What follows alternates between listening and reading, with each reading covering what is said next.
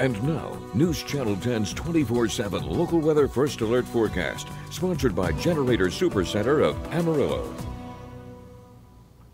Good Friday afternoon, everyone. Hopefully, you're all doing well. We're going to start off with a bit of a recap from yesterday into today. Of course, we had that massive storm system kind of blow through last night. That was certainly bringing some good rain to a lot of the region. Unfortunately, nothing really much here for us here in Amarillo, but I do know that some people up near Stinnett, up near Borger, did get two and a half inches of rain. So we love to see those reports of beneficial rainfall all across the region. Looking at your satellite radar here now at the time of recording, we're looking at late Friday afternoon. You're seeing a few little spotty showers there trying to pop up around Portales, maybe down on the southwestern parts of the area. Overall, though, it's a pretty quiet afternoon for most of us. Could see a few little spotty storms that try to pop up, but we're not expecting any major systems to try to blow through. In terms of heat advisories, we have Palo Duro Canyon and the southeastern part of the region. That's for temperatures and heat indices, of course, heat index, what it feels like outside, anywhere from 105 to 107 degrees. So still pretty hot out there here as we go throughout the day. Temperatures generally in the high 90s here as of right now. As we go throughout this evening, of course, those temperatures start to cool. We'll see cooler conditions, those rain-cooled air a little bit there down off in the southwest. Clovis and Portales, high 70s, low 80s. 85 here in Amarillo, still some 90s in parts of the region. Overnight, we drop down into the low 70s, as you'll see 72, some 60s in other parts of the region. And then tomorrow, maybe, if we're lucky, might see everyone in the area stay below that 100 degree mark. And I know that'll certainly be a pleasant change of pace. That's kind of the cooler conditions, if you will, that we're looking forward to for this weekend. Winds not really expected to do, to do anything crazy here as we're going to see them turn out of the southeast overnight. You're going to see them 5 to 15 miles an hour as we go into tomorrow.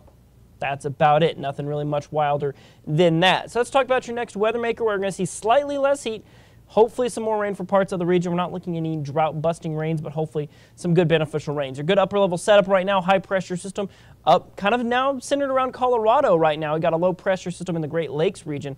That's putting us under what we call kind of north northwesterly flow. And basically what we get with that is at least here for the next couple of days is we get it to kind of kick up a little bit of moisture there off the mountains of New Mexico and some thunderstorms our direction. Zooming in here, taking a look at our next seven days of expected precip totals. This sums up the next seven days all together. This is not narrowing it down to day by day. You'll see right there, everything generally stays in the greens. We don't see any blues until, like I said, you get up into the mountains. And so if we stay down in the greens, we're probably looking at somewhere around half an inch or less across these next seven days. So even the rain chances we are looking at, nothing just too wild, but this is not, you know, guaranteed. This is not written in stone. Of course, we had that system blow through yesterday. That brought two and a half, three inches for some places around the region that's not out of the question. So we won't completely discount the possibility and give up hope that we couldn't see some beneficial rains. Now, going into tonight, like I said, maybe some spotty activity off towards the west, minimal rain showers expected. Could see a few little spotty showers early Saturday morning.